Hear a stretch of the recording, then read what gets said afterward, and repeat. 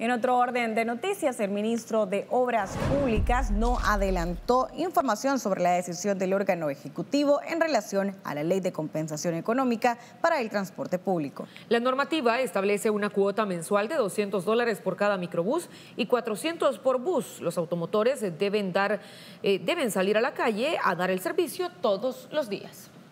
Hicieron caso omiso a cada una de las peticiones del gobierno aprobaron lo que ellos estimaron conveniente, como siempre lo han hecho, como lo hicieron en los últimos 30 años. Si es que al final no hemos visto mejoras en la calidad y en el servicio, en el transporte público. Y ahora que hay un gobierno que quiere trabajar por el bienestar de los usuarios, los diputados se oponen. Lamentablemente veo difícil que en esta Asamblea Legislativa podamos tener un cambio sustancial en, tema, en términos de transporte público. Pero a pesar de eso, nosotros como gobierno vamos a seguir luchando para que se puedan hacer todos estos cambios. El presidente de la República va a tomar la mejor decisión para cada uno de los usuarios.